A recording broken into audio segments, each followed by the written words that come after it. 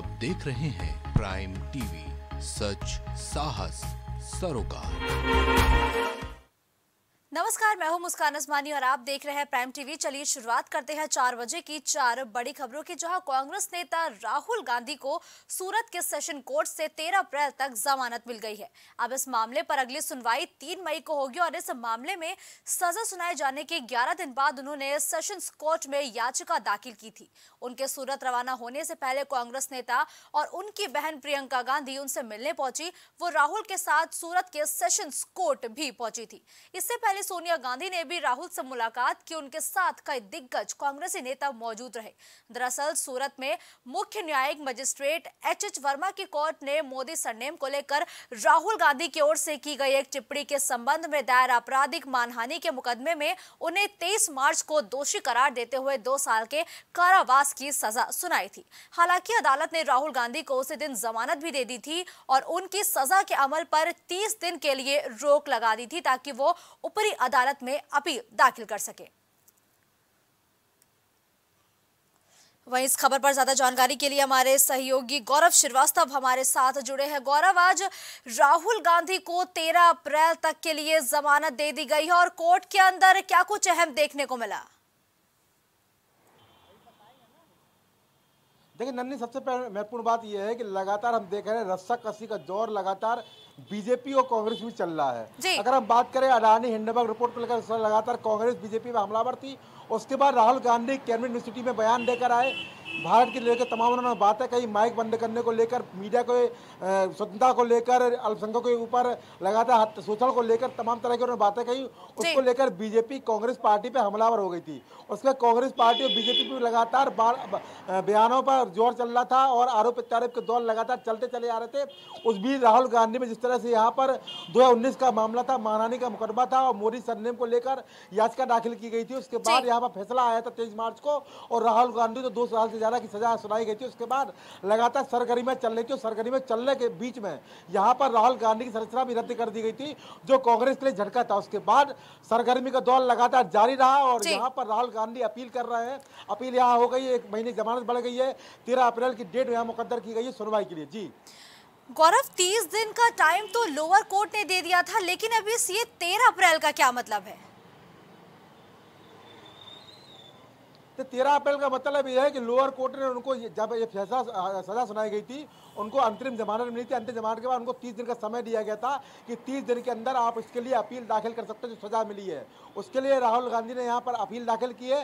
हालाँकि ग्यारह दिन बाद ये अपील दाखिल की है। कहीं ना कहीं ये संशय भी उठता है कि सत्याग्रह हुआ, आंदोलन हुआ, तमाम तरह की बातें हुई। अगर अपील पहले भी कर सकते पर पहले अपील नहीं की गई और राहुल गांधी लगातार कहते रहे कि मैं माफ़ी नहीं मांगूँगा और उन्होंने तेईस मार्च की जो सजा हुई थी, उसको एक, उसका एक इतिहास देखते हुए, अपने आप को इतिहास बनाने के लिए उन्होंने यहाँ पर जो कवायद थी, राहुल गांधी शुरू की थी। रालेट एक्ट की बात करें या तेईस मार्च को शहीद दिवस की बात करें उस दिन अभी दो लोगों द्वारा माफ़ी नहीं मांगी गई थी।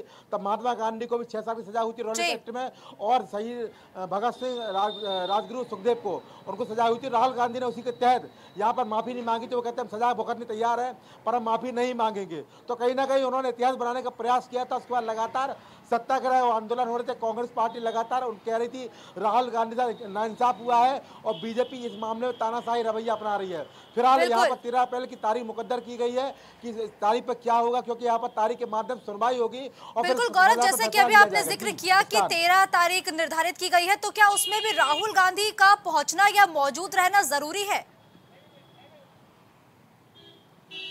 जी, बिल्कुल, राहुल गांधी का यहाँ पहुँचना ज़रूरी है, क्योंकि यहाँ पर तारीख यहाँ मुकदर की गई है, वहाँ पर पहुँचना ज़रूरी है। सुनवाई होगी सुनवाई के माध्यम से, जो महत्वपूर्ण सुनवाई है दो साल की सजा को लेकर है। अगर यहाँ पर सजा कम होती है तो कहीं ना कहीं मुस्कान जो उनकी संरचना यहाँ पर रद्द गई, रद्द की गई है।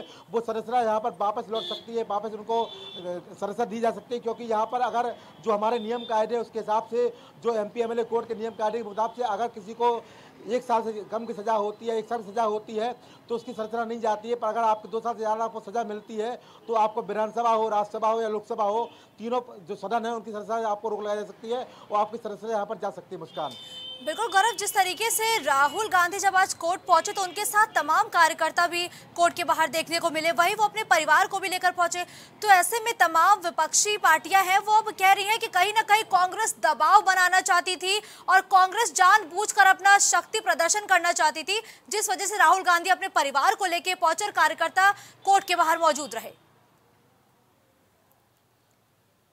जी, बिल्कुल मुस्कान, यहाँ पर बीजेपी का यही रवैया, बीबी का कहना है कि जहाँ पर कांग्रेस पार्टी गलत होती है, वहाँ पर कांग्रेस पार्टी पूरी तरह से यहाँ पर विवाद उत्पन्न करती है। हमने देखा था जब सोनिया गांधी को, राहुल गांधी को, प्रियंका गांधी को यहाँ पर लगातार ईडी का बुलावा आ रहा था, या राहुल गांधी को लगातार पूछताछ जारी थी, वहाँ पर भी कांग्रेस के जो नेता थे या कांग्रेस के जो कार्यकर्ता थे लगातार प्रदर्शन कर रहे थे। वो कहते ईडी की कार्रवाई गलत है तानाशाही रवैया सरकार अपना रही तो उस दौरान भी बीजेपी ने कहा था कि जब कोई भी गलत होता है, अगर वहाँ पर बीजेपी कार्रवाई करती है, सरकार कार्रवाई करती है, या केंद्रीय एजेंसियाँ कार्रवाई करती है तो वहाँ पर कांग्रेस का हल्ला बोल होता है। कांग्रेस कहती है तानाशाही रवैया जबकि केंद्रीय एजेंसियाँ कोई काम करती है उसमें किसी का पार्टी का कोई सहयोग नहीं होता है। उनकी अपनी नीति है उनकी अपनी जो सूची है इसके हिसाब से जो उनके मामले हैं उसको लेकर लगातार कवायद और कार्रवाई दौर जारी रहते हैं और पूछताछ हो रही है। तो डरना क्या है पर कांग्रेस पार्टी पहले वैसे करते आई है और हमेशा मामले को बढ़ाते नज़र आ लेकिन गौरव हमने ये भी देखा है कि जब भी किसी भाजपा के नेता की पहले पेशी हुई है या किसी मंत्री की पेशी हुई है तो वो भी अपने समर्थकों के साथ कोर्ट में पहुँचते हैं। तो क्या ये कहा जाए कि भाजपा भी पहले दबाव बनाती थी? देखिए मस्कान सबसे महत्वपूर्ण बात है कि लोकतंत्र है राजतंत्र है। यहाँ पर सबको यहाँ पर अधिकार प्राप्त है कि अगर आप बात रखते हैं उसका विरोध कर सकते हैं। पर सबसे महत्वपूर्ण बात है कि जब कोई कार्रवाई होती है उसके लिए विरोध प्रदर्शन करना कार्यकर्ताओं का उतरना रोड पर उतरना धरना प्रदर्शन करना ये आज की डेट में लोकतंत्र की व्यवस्था बन चुकी है और चाहे बीजेपी की बात करें चाहे सपा की बात करें चाहे कांग्रेस की बात करें हमने हाल में देखा था कि समाजवादी पार्टी के social media handle handler Manish Jagan Agarwal को गिरफ़्तार किया गया था। उसके बाद हमने देखा था सपा प्रमुख अखिलेश यादव तमाम कार्यकर्ताओं के साथ पुलिस मुख्यालय लखनऊ में पहुँच गए थे घिराव कर लिया था। वहाँ पर लगातार संघर्ष हुआ था उसके बाद तमाम तरह की घटनाक्रम आपको जानकारी है इसको पता है कि क्या घटनाक्रम रहा तो ये व्यवस्था हो चुकी है। अगर कोई गिरफ्तारी होती है कार्रवाई होती है तो विपक्षी पार्टी होती है जो संबंधित पार्टी होती है उनके द्वारा प्रदर्शन किया जाता है घिराव किया जाता है धरना किया जाता है। जी मुस्कान। बिल्कुल धन्यवाद गौरव इस खबर पर हमारे साथ जुड़ते हुए दर्शकों तक तमाम जानकारी पहुँचाने के लिए।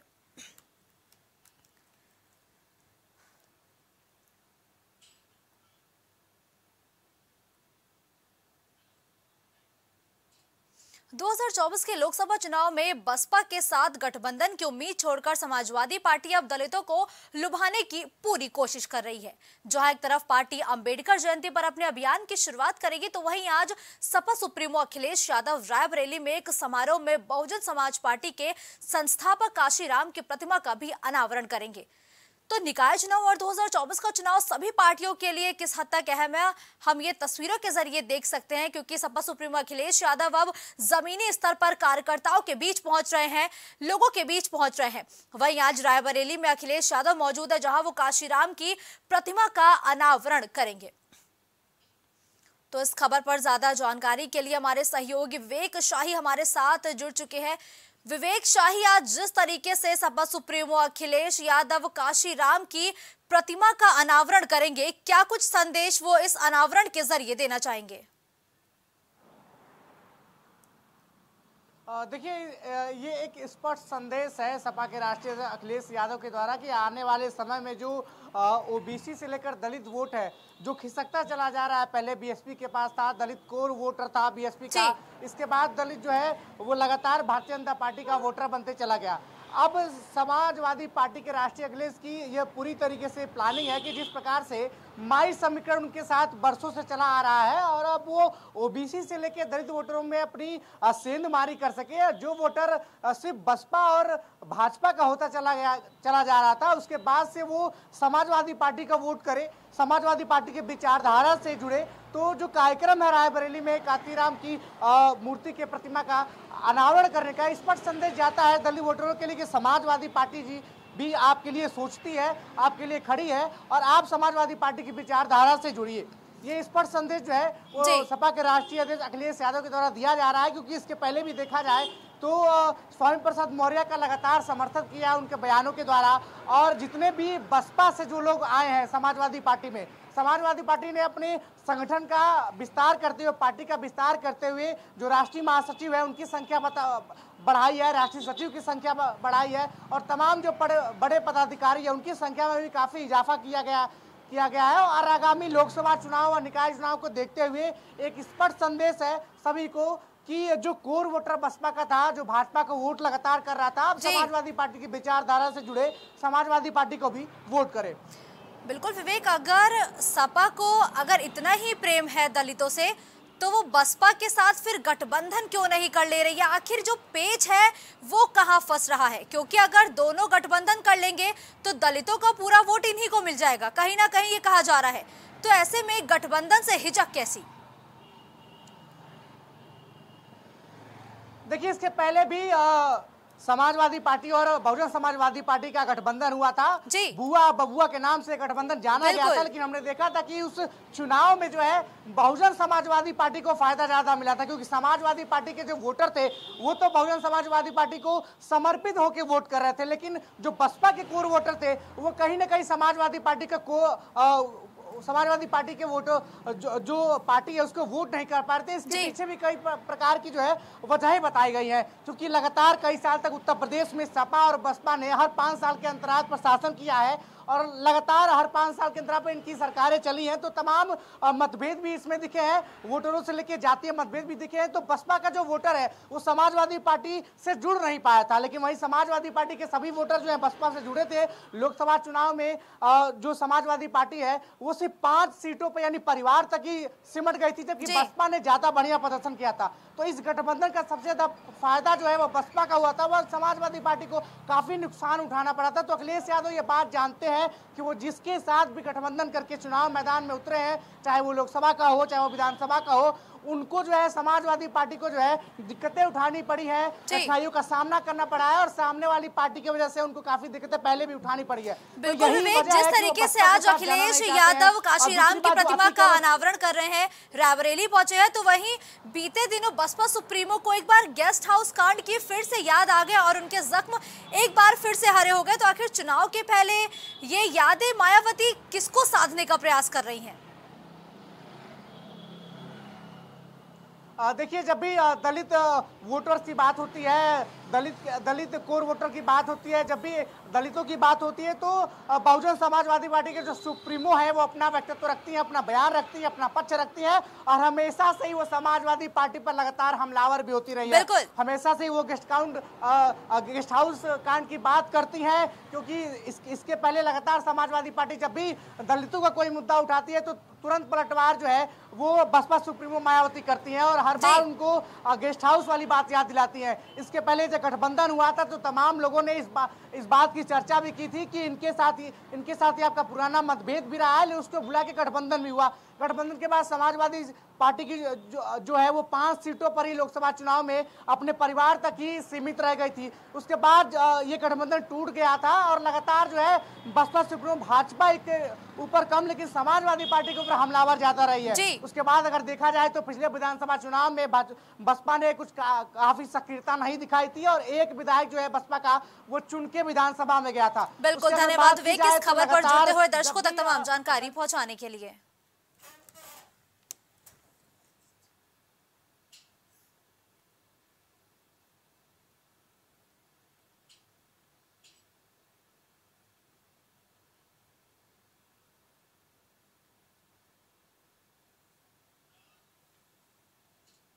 शहरी निकाय चुनाव की तैयारियों को लेकर राज्य निर्वाचन आयोग भी अब पूरी तरीके से सक्रिय हो गया है। निर्वाचन आयुक्त तो मनोज कुमार ने चुनाव की तैयारियों को लेकर एक बैठक बुलाई। इस दौरान बैठक से निकले प्रमुख सचिव गृह संजय प्रसाद ने बताया कि नगर निकाय चुनाव की चर्चा के लिए सभी को बुलाया गया था। इस दौरान उन्होंने बताया कि नगर निकाय चुनाव को लेकर सभी पहलुओं पर चर्चा हुई है। यहाँ पर नगर विकास के अधिकारी भी हैं और ज़्यादा जानकारी राज आयोग ही देगा।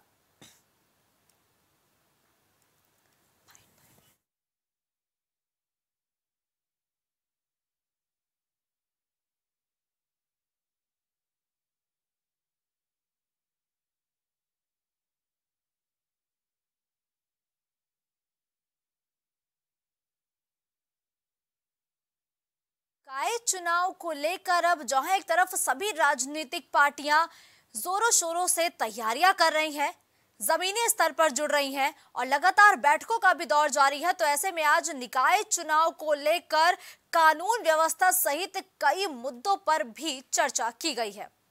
तो निर्वाचन आयोग पूरी तरीके से तैयार हो चुका है और आज एक अहम बैठक भी की गई है। इस खबर पर ज़्यादा जानकारी के लिए हमारे सहयोगी विभांशु हमारे साथ जुड़ चुके हैं। विभांशु, निकाय चुनाव से पहले आज एक बेहद ही अहम और बड़ी बैठक निर्वाचन आयोग ने की है। तो इस बैठक में क्या कुछ अहम मुद्दों पर चर्चा की गई? विभांशु, क्या आप तक हमारी आवाज़ पहुँच पा रही है? तो हमारे सहयोगी से हमारा संपर्क टूट गया। हम उनसे दोबारा संपर्क साधने का प्रयास करेंगे, लेकिन निर्वाचन आयोग जो है, वो बैठक भी कर रहा है क्योंकि लगातार अब तारीखों का बस ऐलान भी कभी भी हो सकता है। ऐसे में निकाय चुनाव को लेकर निर्वाचन आयोग पूरी तरीके से तैयार हो चुका है। कानून व्यवस्था सहित कई मुद्दों पर चर्चा की गई है। तो एक बार फिर से विभांशु हमारे साथ जुड़ चुके हैं। विभांशु, आज निकाय चुनाव से पहले निर्वाचन आयोग की एक बड़ी और अहम बैठक हुई है। तो उस बैठक के दौरान किन किन मुद्दों पर चर्चा की गई? कि आखिर किस तरीके से निकाय चुनाव संपन्न कराए जाएँगे? मुस्कान, आपको बता दें कि निकाय चुनाव में आरक्षण की लिस्ट जारी होने के बाद जो सरगर्मियाँ हैं वो तेज हो गई हैं। तो वही आपको बताएँ कि राज्य निर्वाचन आयोग में आज एक बड़ी अहम बैठक रखी गई थी। इस बैठक में निकाय चुनाव को लेकर चर्चा की गई। साथ ही साथ चुनाव की अगर बात करें तो उत्तर प्रदेश के निकाय चुनाव में अगर देखें तो एक बड़ा राज्य है। साथ ही साथ दो फ़ेज़ में इलेक्शन कराने की चर्चा की गई। और इस बैठक में अगर बात की जाए मुस्कान तो उत्तर प्रदेश के प्रमुख प्रमुख सचिव गृह संजय प्रसाद साथ ही साथ डीजी स्पेशल प्रशांत कुमार और साथ ही साथ राज्य निर्वाचन आयुक्त मनोज कुमार सम्मिलित हुए। साथ ही साथ कई उच्च अधिकारी इसमें सम्मिलित हुए। लगभग 45 मिनट की ये बैठक हुई और इस बैठक में कहीं ना कहीं देखा जाए तो जब चुनाव होता है तो पुलिस महकमे की एक बहुत बड़ी ज़िम्मेदारी होती है। शांतिपूर्वक और पारदर्शिता के साथ चुनाव कराना। तो इन मुद्दों के साथ चर्चा की गई, जिसमें चुनाव चुनाव आयुक्त और साथ ही साथ प्रमुख सचिव गृह और तमाम जो आला अधिकारी हैं, वो चर्चा की। अगर बात की जाए तो जब इस बैठक की खत्म हुई तो उसके बाद राज्य राज्य निर्वाचन आयुक्त मनोज कुमार की तरफ़ से बताया गया कि प्रदेश के अंदर में जो तमाम जगहों पर चुनाव होगा इसमें पुलिस बल को कैसे ड्यूटी पे लगाया जाएगा इसको लेकर चर्चा की गई है। साथ ही साथ पर्याप्त मात्रा में पुलिस बल को हम अपनी तरफ़ से मांगे हैं कि इससे फ्री एंड फेयर इलेक्शन हो सके। साथ ही आपको बताया कि चौदह हज़ार छह सौ चौरासी पदों पर निर्वाचन कराया जाना है। साथ ही उनकी तरफ़ से ये भी कहा गया कि सत्रह महापौर और चौदह सौ बीस पार्षद के चुनाव ईवीएम से कराए जाएँगे। तो लोकसभा विधानसभा के बाद अब निकाय चुनाव को भी ईवीएम से कराने की तैयारी राज्य निर्वाचन आयोग कर रहा है। साथ ही आपको बताएँ कि बाकी जो पद हैं जो बाकी अन्य पद हैं प्रदेश के अंदर में वो बैलेट पेपर पे कराए जाएँगे। वहीं अगर बात की जाए तो जहाँ एक तरफ़ आज की बैठक में जहाँ चुनाव के प्रारूप प्रारूप पे मनोज कुमार की तरफ़ से जानकारी दी गई तो वहीं सुरक्षा व्यवस्था को लेकर डीजी स्पेशल प्रशांत कुमार की तरफ़ से कहा गया कि पुलिस बल पूरे मुस्तैदी के साथ उत्तर प्रदेश के हर बूथों पर तैनात होगा बिल्कुल विभांशु। अभी जैसा कि आपने ज़िक्र किया कि पारदर्शिता के साथ चुनाव कराए जाए। लेकिन जब भी किसी भी चुनाव के नतीजे आते हैं चाहे वो विधानसभा का चुनाव हो चाहे वो उपचुनाव हो और चाहे वो निकाय चुनाव ही क्यों ना हो तमाम विपक्षी दल ये कहते हैं कि घोटाला हुआ है। जो चुनाव है वो पारदर्शिता के साथ नहीं कराए गए। तो ऐसे में पारदर्शिता से चुनाव कराना कितना अहम हो जाता है और क्या कुछ ज़िम्मेदारी हो जाती है ऐसे में? जी बिल्कुल आपको अगर बता दें तो हाल फ़िलहाल में अगर देखें तो बीते कई सालों में जो चुनाव हुए हैं चाहे उत्तर प्रदेश का विधानसभा चुनाव हो साथ ही 2019 का लोकसभा चुनाव हो कहीं ना कहीं विपक्ष हमेशा अपनी हार का ठीकरा ईवीएम पे फोड़ते हुए नज़र आया है। मगर पूरी तरह से देखा जाए तो प्रशासन और चुनाव आयोग हमेशा से ही लगातार पारदर्शिता के साथ चुनाव कराते हुए नज़र आया है। बात की जाए तो अगर कोई भी विपक्ष के व्यक्ति के तरफ़ से सवाल उठाया जाता है तो उसका स्पष्टीकरण विभाग के द्वारा दिया जाता है। अब आपको बताएँ कि अब उत्तर प्रदेश में निकाय चुनाव को ईवीएम से कराया जा रहा है। अब इसको लेकर विपक्ष का क्या कहना है वो आने वाले समयों में साफ़ होगा। मगर निकाय चुनाव के अगर हटाकर देखें तो लोकसभा चुनाव और विधानसभा चुनाव पर विपक्ष कहीं ना कहीं ईवीएम पर हमलावर होते हुए आया है और उत्तर प्रदेश का निकाय चुनाव महापौर। और साथ ही साथ बड़े शहरों के अंदर में ईवीएम से चुनाव होंगे तो देखने वाली बात यह होगी कि विपक्ष इस पर कितना हामी अपना भरता है। बिल्कुल विभांशु आज एक अहम बैठक हुई है लेकिन अभी तारीखों का औपचारिक रूप से ऐलान नहीं हुआ है तो क्या लगता है कि ये जो निकाय चुनाव है ये यूपी में कब तक होंगे? जी उत्तर प्रदेश का निकाय चुनाव माना जा रहा है कि 15 अप्रैल से पहले तारीखों का ऐलान हो जाएगा। इसको लेकर जहाँ एक तरफ़ आपने देखा कि आरक्षण की सूची नगर विकास विभाग और नगर विकास मंत्री ए के शर्मा की तरफ़ से जारी किया जाता है। उसके ठीक बाद अगर बात करें तो अब चुनाव आयोग की बैठक होती है जिसमें फ्री एंड फेयर इलेक्शन को लेकर चर्चा की जाती है। साथ ही साथ कैसे चुनाव कराए जाएँगे इसको लेकर जानकारी दी जाती है। अब इसके ठीक बाद माना जा रहा है कि वोटर लिस्ट की जो लिस्ट जारी होने वाली थी वो पिछले तीन दिनों से जारी होने की बातें कही जा रही है। और इसको लेकर अब राज्य निर्वाचन आयोग माना जा रहा है कि जल्द से जल्द वोटर लिस्ट जारी कर देगा जिसके बाद चुनावों का ऐलान यानी कि चुनाव की तिथियों का भी ऐलान करेगा। जी। बिल्कुल धन्यवाद विभांशु इस खबर पर हमारे साथ जुड़ते हुए दर्शकों तक तमाम जानकारी पहुँचाने के लिए।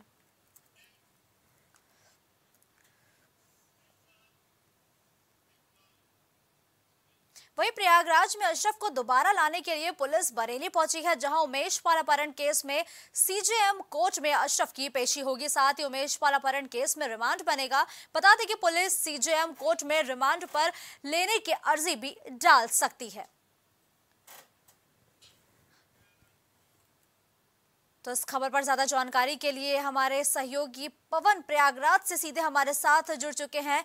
पवन अशरफ को आज बरेली से एक बार फिर प्रयागराज के सीजीएम कोर्ट में पेश किया जाएगा। तो क्या अशरफ को पुलिस लेकर पहुँच चुकी है और किस तरीके से सुरक्षा के इंतज़ाम है? जी बिल्कुल मुस्कान बीते 24 फरवरी को अधिवक्ता उमेश पाल को दिन दहाड़े गोली और बम मारकर मौत के घाट उतार दिया गया था। उस पूरे घटना में अतीक तथा बरेली जेल में बंद अशरफ के ऊपर इस घटना का षड्यंत्र रखने का आरोप लगा था। और बीते दिनों की बात की जाए तो बीते दिनों जब 2006 में उमेश पाल का अपहरण किया गया तो उस मामले में एमपीएमएलए कोर्ट द्वारा अतीक सहित तीन आरोपियों को उम्र कैद की सजा सुनाई गई है। हालाँकि अशरफ उस मामले में बरी हो गया है, लेकिन फिर से बरेली से अशरफ को प्रयागराज लाने की कयावत की जा रही है। कयास लगाए जा रहे हैं कि आज देर रात तक अशरफ को प्रयागराज फिर से लाया जा सकता है और कल कोर्ट में पेश किया जाएगा। अगर बात की जाए अशरफ की तो अशरफ का जब बीते दिनों पहले एमपीएमएलए कोर्ट में पेश किया गया था तो उस दौरान उमेश पाल अपहरण कार्ड को लेकर कोर्ट द्वारा उमेश पाल को बाइज्जत बरी कर दिया गया था और रिहा कर दिया गया था। हालाँकि अगर अशरफ की बात की जाए तो अशरफ के ऊपर करीब तिरपन मुकदमे हैं और दूसरे मामले में जो पुलिस है वो अशरफ को फिर से बरेली से प्रयागराज लाने की कयावत कर रही है। कहा तो यह भी जा रहा है कि प्रयागराज की पुलिस टीम करीब तीन दिनों से बरेली में डेरा डाले हुए है तथा जो कानूनी कार्रवाई और जो कागज़ी कार्रवाई है उसको पूरा करने के बाद आज देर रात तक प्रयागराज फिर से असम को लाया जा सकता है। तो ऐसे पवन रिमांड पर भी लेने की तैयारी की जा रही है जिसके लिए कोर्ट में जो है वो कोर्ट का दरवाज़ा पुलिस ने खटखटाया है। तो क्या लगता है कि आज अशरफ की रिमांड जो है वो मिल सकती है पुलिस को? जी बिल्कुल। चूँकि उमेश पाल हत्याकांड की बात भी है इसमें जोड़ी जाएगी क्योंकि एक महीने बीत जाने के बाद पुलिस लगातार अभी तक उमेश पाल हत्याकांड को लेकर गुत्थी सुलझाने में लगी हुई है। हालाँकि इस पूरे घटना के मुख्य आरोपियों की बात की जाए तो अतीक अहमद और उमेश पाल का नाम मुख्य रूप से सामने आया है। तो ऐसे में पुलिस उमेश पाल को कोर्ट में पेश कर फिर से रिमांड लेने की अर्जी डाल सकती है क्योंकि उमेश पाल हत्याकांड को लेकर पुलिस के कई ऐसे सवाल हैं जो अभी तक अनसुलझे हैं।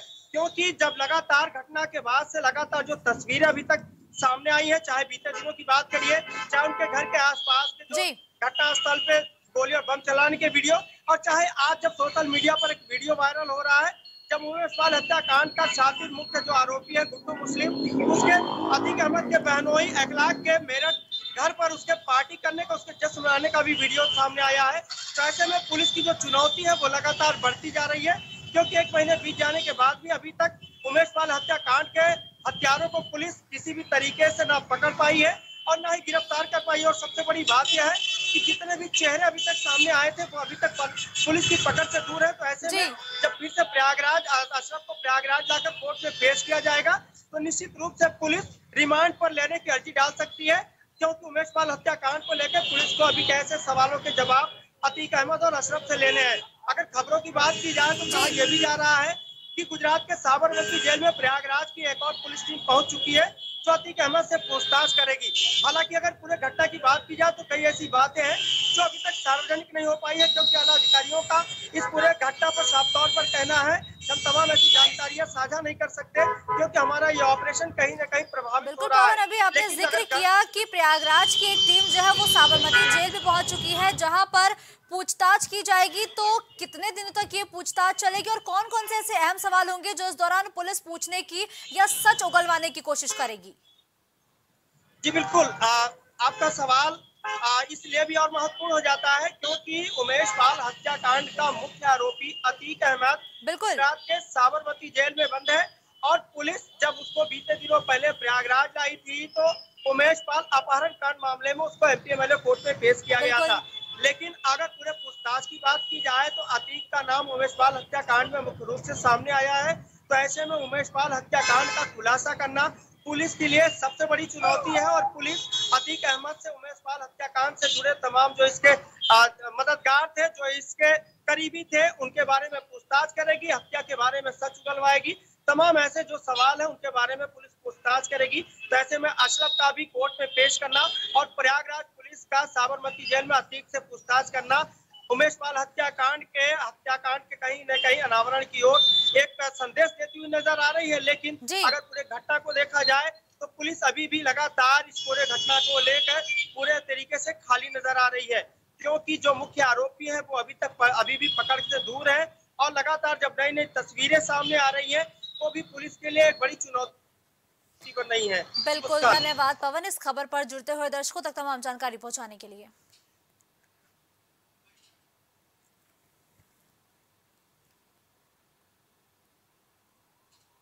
चार बजे की चार बड़ी खबरों में फ़िलहाल के लिए इतना ही। देश भर की तमाम बड़ी और ताज़ा तरीन खबरों के लिए आप देखते रहिए प्राइम टीवी।